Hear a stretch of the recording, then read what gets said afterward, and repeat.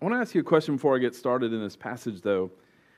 Have you ever had someone in your life um, that you would be afraid to see after you made a mistake? Somebody that, you know, when, you mess up, and then and you, the last person you possibly want to see is this person. Maybe, maybe for some of you, uh, it was your father or it was your mother. Um, maybe for others, it was a boss that you had in your past. Uh, maybe for some of you, it's the boss you have in your present. Um, maybe for some of you, it's your spouse. And, and you know that you've messed up, and, and you, you just you just know what their response is going to be like. You just know how they're going to act towards you and the, and the mistake that you've made. I think that's a pretty common experience for everybody here in this room, right? We've had somebody like that that it's just, our, our nature is really to hide and hope that they never find out, right? But sometimes in life it doesn't work that way. You, you, have, to, you have to confront them, you have to see them, you have to talk to them face to face again. And we know that, you know, they're just, they're just going to chew us out. I mean, they're just, they're never going to let us hear the end of it. And, and typically what happens is it, it's not only that they're reminding us of this failure, but then it's like they reach into their back pocket and say, you know what? Remember the time you did this, and remember the time you did this, and remember th- this is just like this. You, you're just acting the same. You just you never change, right? And so part of the the wanting to hide the current mistake is is going, man. Now they're going to have another thing for that list. And the next time I mess up, the next time I go see them, they're going to pull it out, and the list is going to be a little bit longer than it was the last time. And so we see them, they, they blast us, and we leave with our head hung low, knowing that we've got another failure to add to that list. Typically, when you find yourself in a relationship like that, with that kind of person, you live your life to find approval.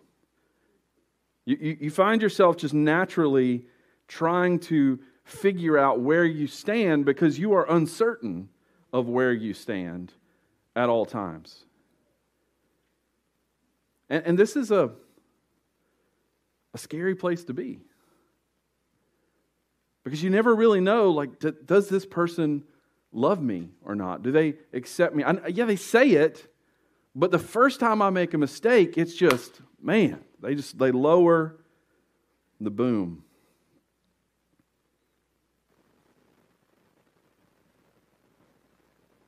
And so you find yourself living out of fear.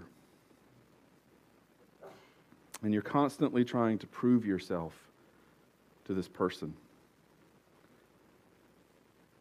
This morning, I want to I want to show you the way Jesus responds.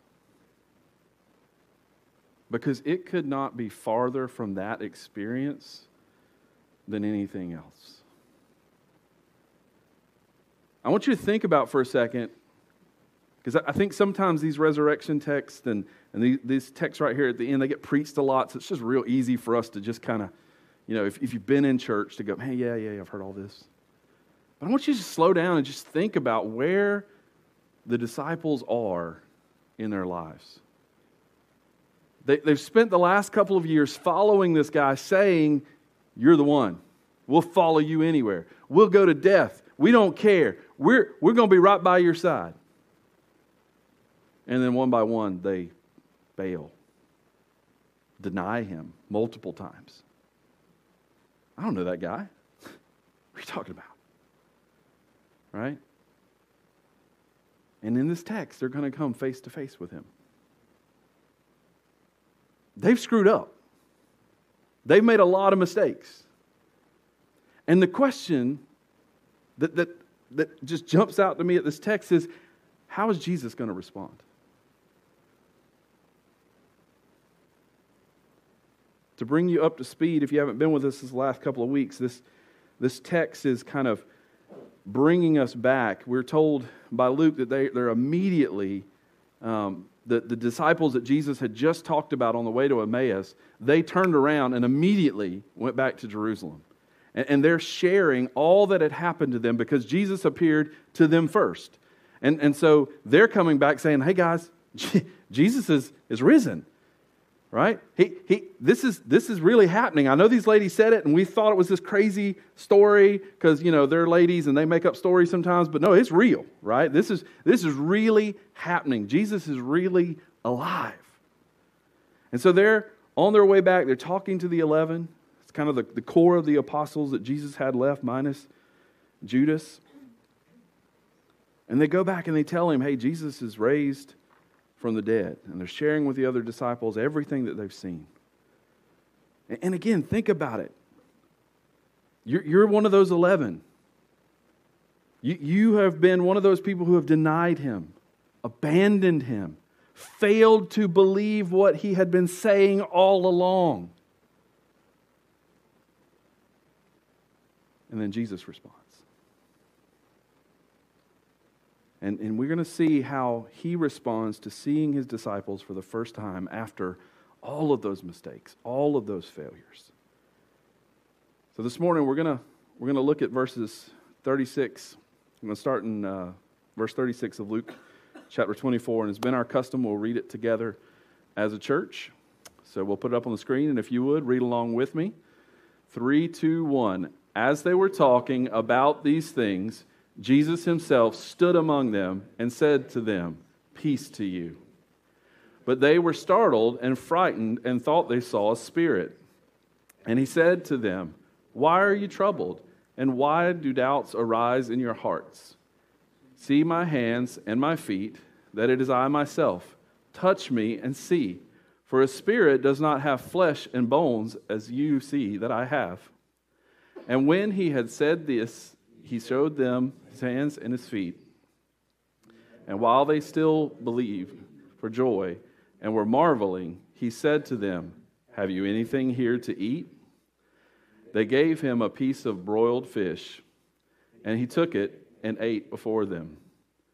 Then he said to them, These are my words that I spoke to you while I was still with you, that everything written about me in the law of Moses and the prophets and the Psalms must be fulfilled. Then he opened their minds to understand the scriptures and said to them, Thus it is written that the Christ should suffer and on the third day rise from the dead, and that repentance and forgiveness of sins should be proclaimed in his name to all nations, beginning from Jerusalem. Amen. So, in this passage, we're, we're told, as I told you in this whole chapter, there's a theme running through every panel, and that's Jesus pointing them back to the scriptures, right? The, the angel pointing the ladies back to the scriptures. Jesus on the road to Emmaus pointing them back to scriptures. Again, we see Jesus doing the same thing with his disciples. The, the foundation for which their hope rests upon is what God has said, right? And so Jesus is pointing them back. This, this is all things that had to happen. These are all things that had to be revealed in time. And so now Jesus is standing before them. And there's, there's joy, right? They're, they're, they're, they're kind of startled. They're not sure what to do. They're scared. Can you just, can you just take a second and just imagine what would be going through your mind in that moment? Right? It's, it's easy for us to sit back and judge these guys, but, but think about it. Like, Jesus is, you saw him die. You saw him breathe his last breath. Right? Luke has told us that for most of the time of the crucifixion, the disciples were at a distance watching everything that was happening. It wasn't that just somebody told them about him being crucified, they watched it happen. They saw him get taken down from the cross, a dead man, and laid in a tomb. And now, here he is. He's standing in front of them. And he's speaking to his disciples. Now, again, think about what do you, what do you think's the first thing he's going to say to us? We, we had this big game. We talked a big game before the crucifixion. We said we were going to do all these things before the crucifixion. But when the suffering came, we ran. When, when the death came, we really ran. Right? What's he going to say to us? How, how is he going to respond to us? Notice what Jesus' first words are Peace to you. Jesus is speaking a blessing to them.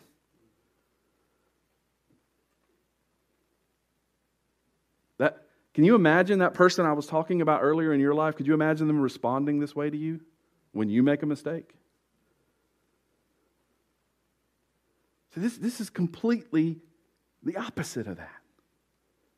We, we have a Savior that is so much better than anything we have ever experienced or understood. Even in the best of relationships, Jesus is better. And we see that here in multiple ways in this passage.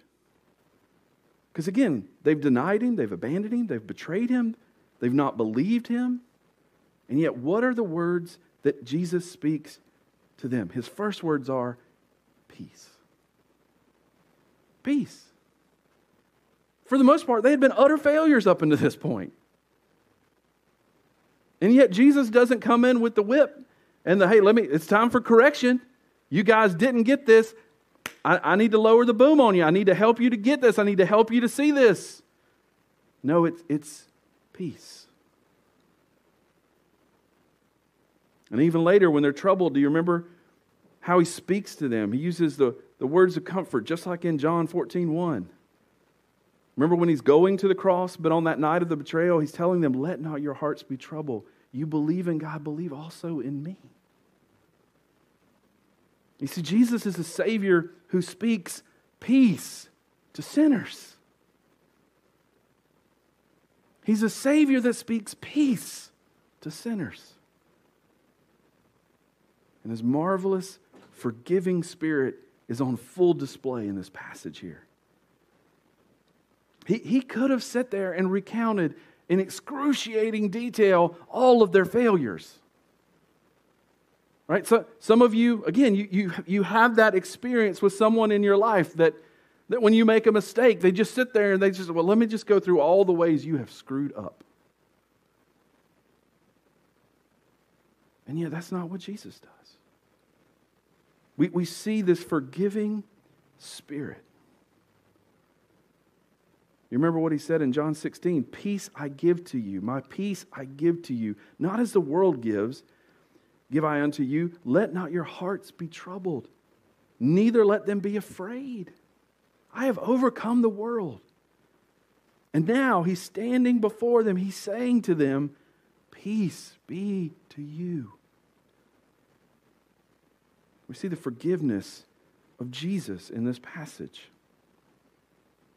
That, that's the kind of forgiving Savior that we have this morning. If you put your faith and trust in Him, this is, this is what you can expect. This is, you, this is how you can expect Him to respond to you when you mess up. When you go to Him and you confess, This is what I've done, you're not going to get condemnation. You're going to get peace to you. He knows everything about you, He, he knows every thought that you've ever thought. He knows everything that there is to condemn you, and yet he says peace to you. Guys, that's the good news this morning that, that each of us here, that no one wants to be forgiven more than he is ready to forgive.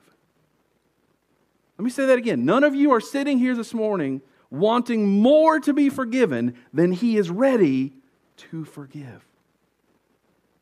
That's the kind of Savior Jesus is. There's no one in this world who's ever wanted to pardon you more than He's ready to pardon you this morning. See, this, this is heart of love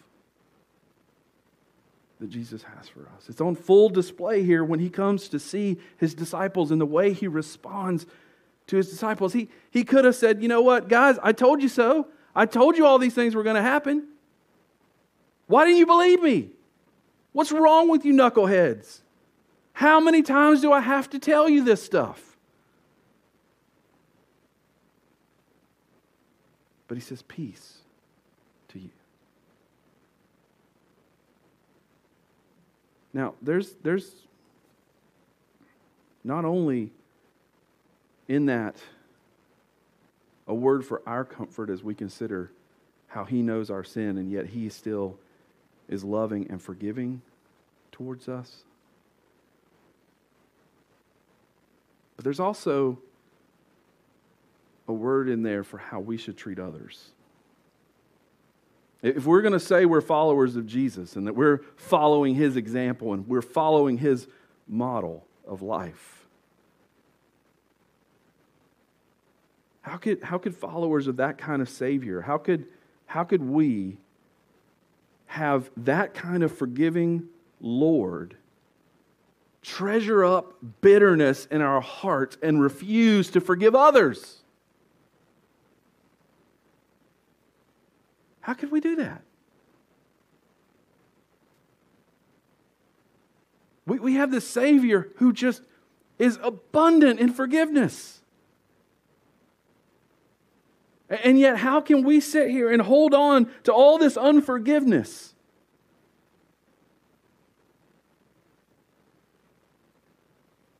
We need to be more like Jesus.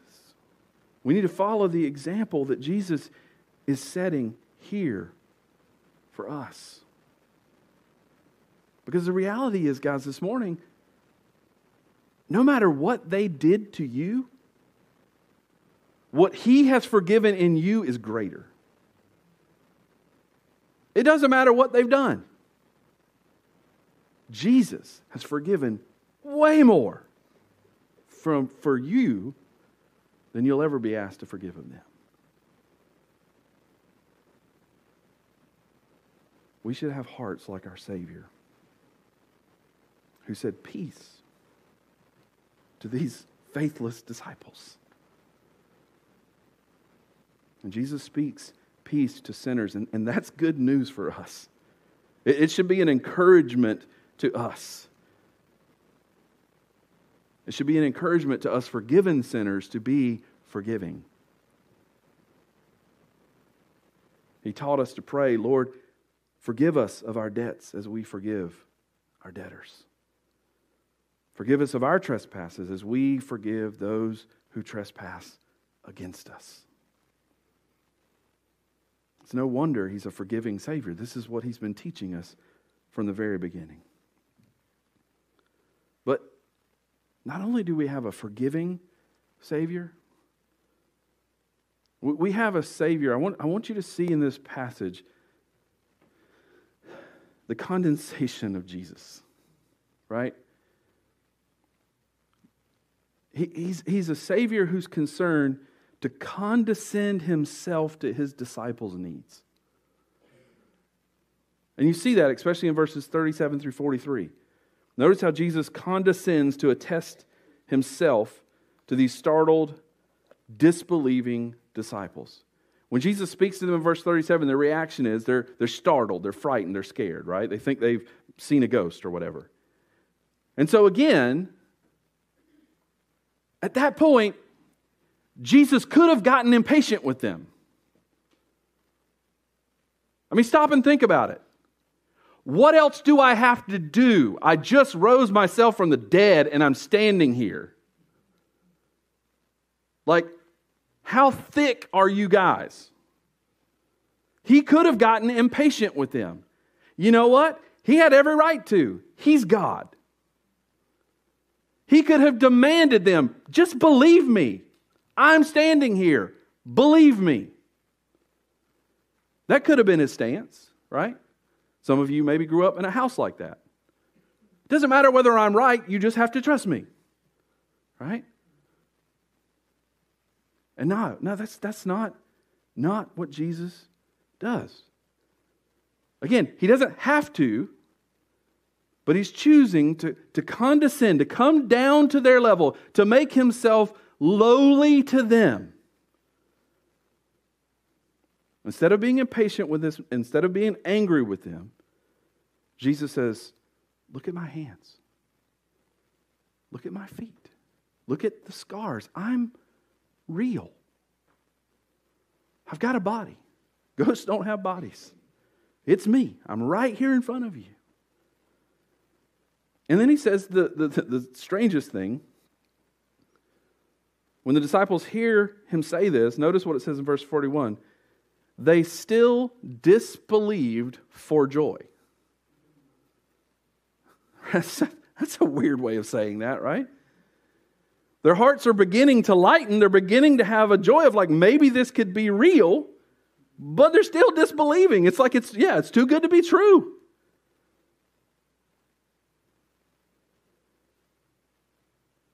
And Jesus says, what? Anybody got anything to eat? right? You guys still aren't believing me. I'm showing you my body. I'm letting you touch it. I'm not a ghost. I'm not a vision. I'm not an apparition, right? Touch me. You, you can see that. Oh, that's not enough. That's not doing it for you. Again, he could have been impatient and angry at that point. But that's not how our Savior responds. No. He says, Give me something to eat. Now, I'm sure they've never seen a ghost eat before, so maybe, that'll make it click. Maybe that'll make it real to them. Again, do you see how he's condescending to their need? They are struggling to believe, and Jesus is choosing time after time to lower himself, not demand, not force, but lower himself willingly right? I mean, that, that's what he did when he took on flesh in the first place, right? Stepping out of heaven and, and lowering himself to become a human, right? But, but he's still doing it. That wasn't a one time, that wasn't a one off, it wasn't a one time thing. It's something he continues to do even to this day. Continues to make himself known to us in real ways to this day. And, and look, he's not, he's not asking the disciples to like contradict their senses. Right? It's not just a voice from heaven saying, Believe in me, I'm alive, trust me. He could have done that. And you know what? He's God. He would have been perfectly right to do that. But that's not what he did. Again, he chose to lower himself. He chose that so that his disciples didn't have to contradict their senses, they could trust their senses. Touch. Watch me eat. The, the fish doesn't fall right through me. right? You can believe me.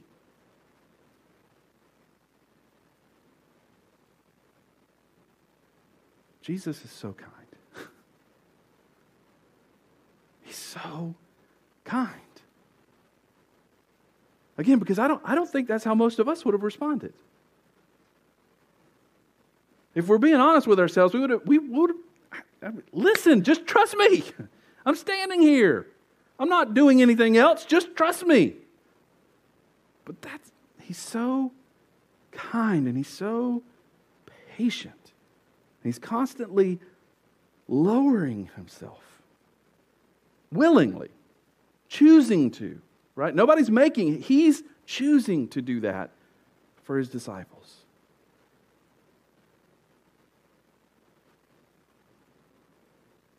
Now, Jesus is saying, I'm real, and I'm asking you to believe me.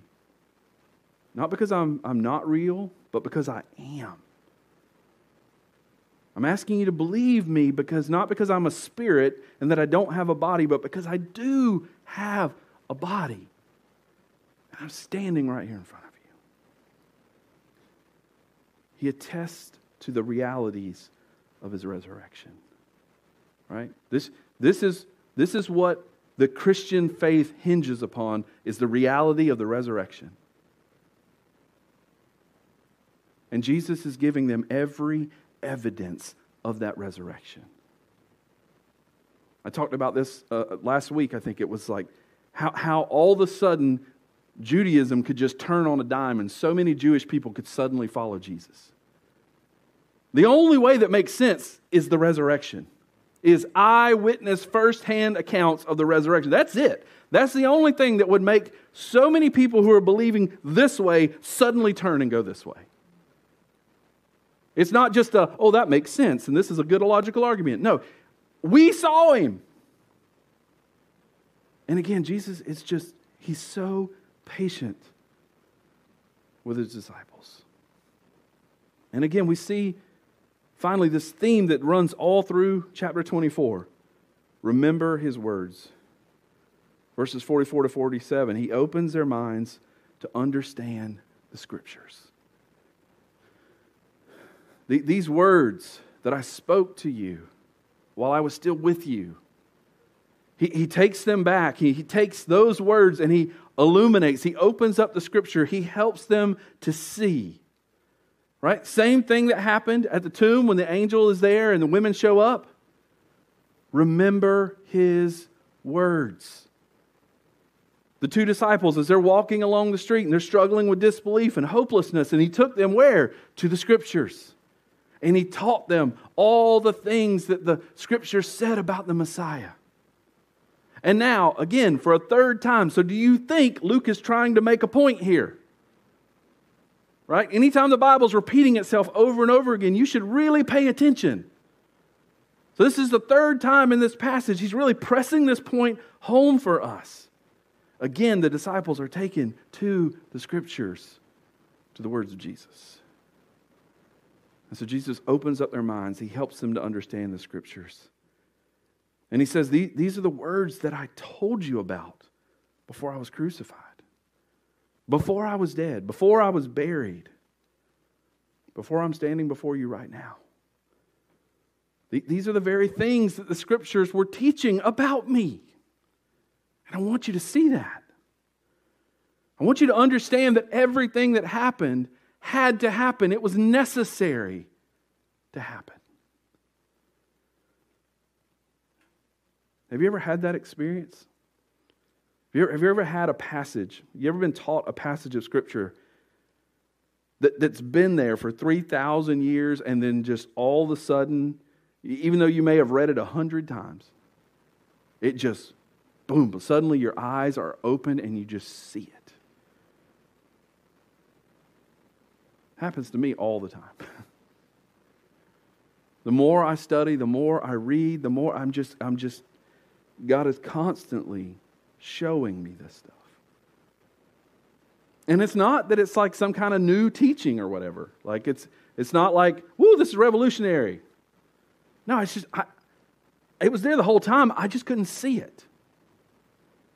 And, and that's what's happened to these disciples is Jesus is he's opening their eyes to the scripture so that they can see him. He, he's helping them and teaching them so that they can understand that all of these things were necessary.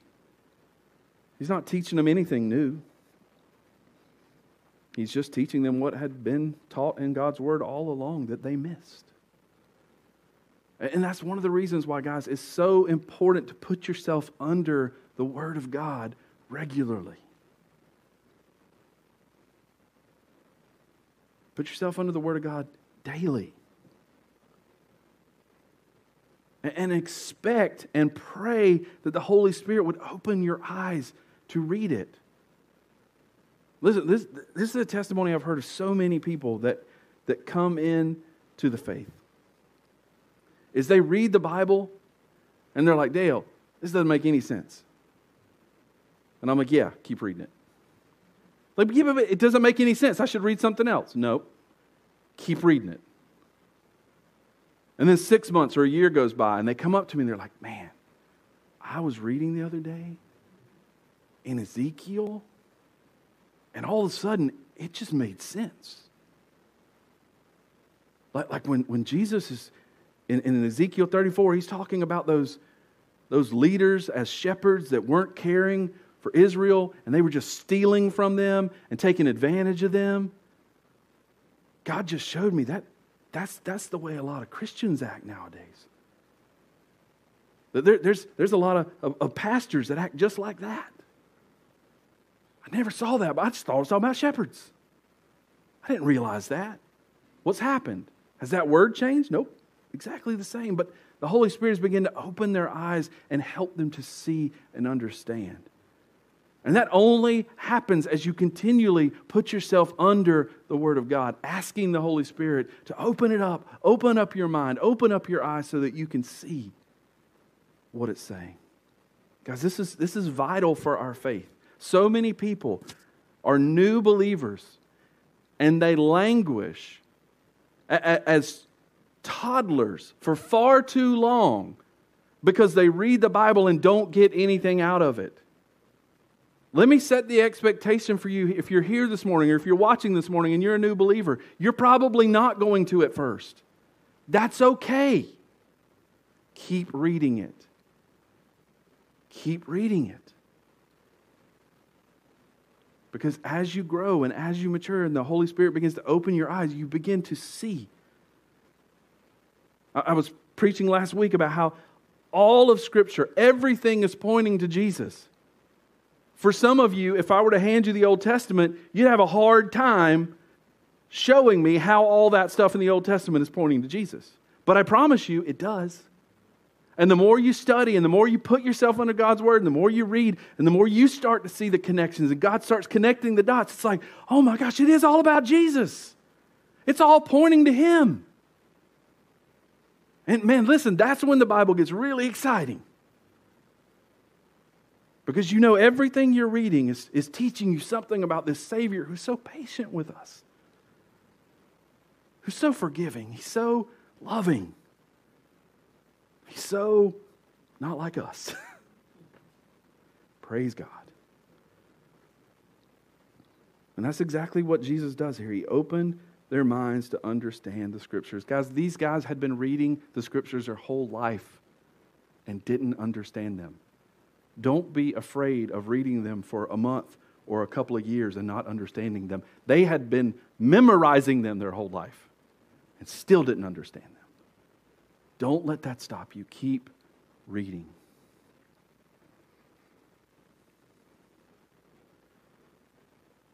In closing, I just want to encourage you guys this morning. There, there are two ways to live the Christian life.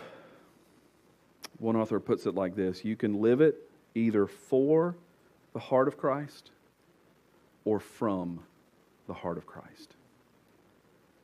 You can live for the smile of God or from it.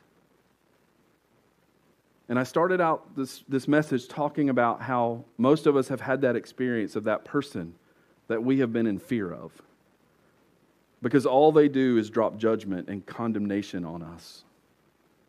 And so, what we do is we work really hard to find approval for that person. We try really hard not to mess up so that that person will approve of us. I hope you've seen this morning as we look at how Jesus has responded to these disciples that Jesus is nothing like that. That, that you're not here this morning, I hope, living for the heart of Christ. You're living from the heart of Christ. You're, you're not here because you want to make God smile. You're, you're living from it.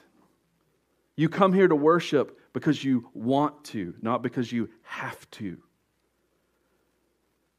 See, even within the church, it's easy for us because we have so many human examples of this harsh, judgmental leadership in our lives it's easy for us to start in faith and remember, oh, Jesus, He saved me. I can't do anything. And then to slide over here and to think, I got to do these things. Or He's not going to be happy with me. Because we, we should be living out of our identity as a son or daughter of God. We're, we're living out of our union with Christ. John Newton once wrote, Are you not amazed sometimes that you should have such you should have so much as a hope that poor and needy as you are, the Lord thinks of you. But let not all of you feel dis- feel discouraged. For if our physician is almighty, our disease cannot be desperate. And if he casts none, of, none out who come to him, why should you fear? Our sins are many, but his mercies are more. Our sins are great, but his righteousness is greater. We are weak, but he is power.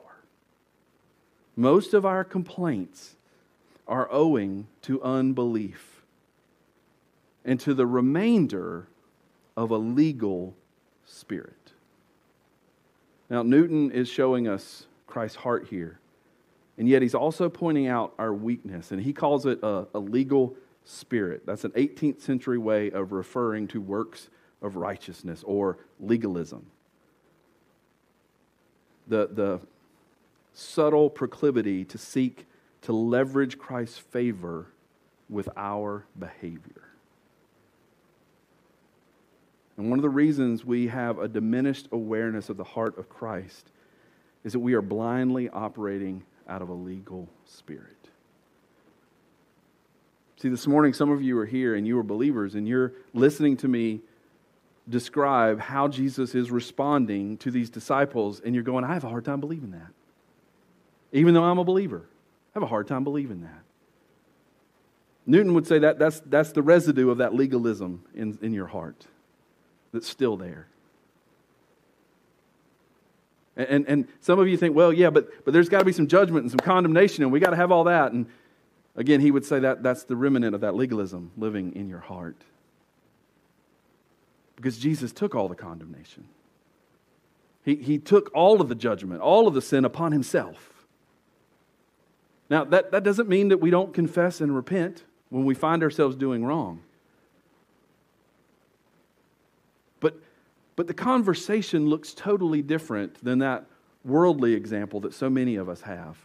Where, where we walk in and we got our head down low and we're just like, okay, here, we're going to get it. We're going to get it. And they unload on us and maybe they say we're forgiven, but man, we just feel like, oh, this is horrible and I'm just, I'm the worst person in the world. That should not be the experience of confession and repentance. Confession and repentance should be going to the Father and saying, Father, this is what I've done. And I'm asking you to forgive me and, and to help me to not do it again. Because I, I don't want to live that way anymore. I don't want to think that way anymore. And I'm thankful that your son was sent to die for me because you knew I was going to do that. And, and you took care of it on the cross. And so I'm leaving here with my head held high in worship and praise of the kind of Savior that I have that speaks, Peace be to you.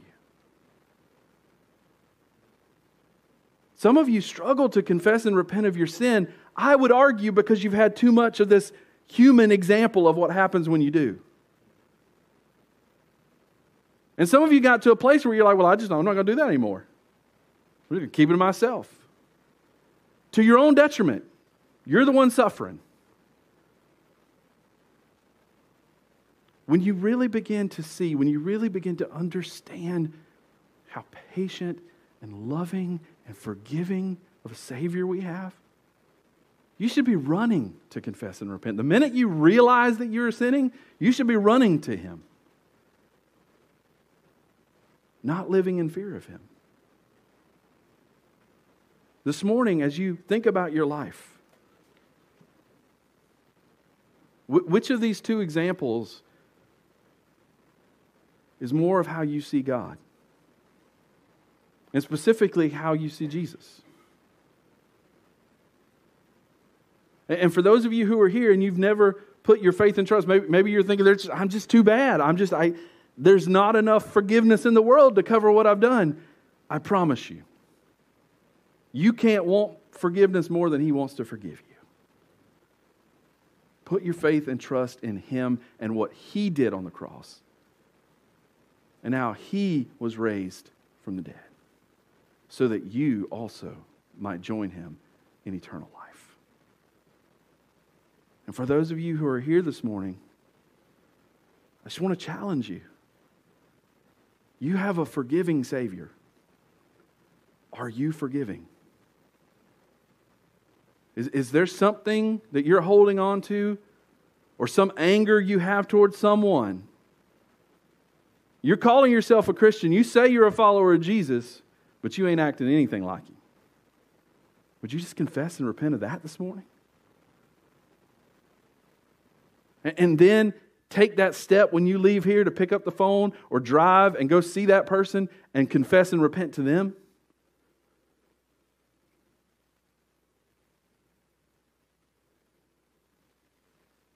Do you, do you live your life not confessing and repenting?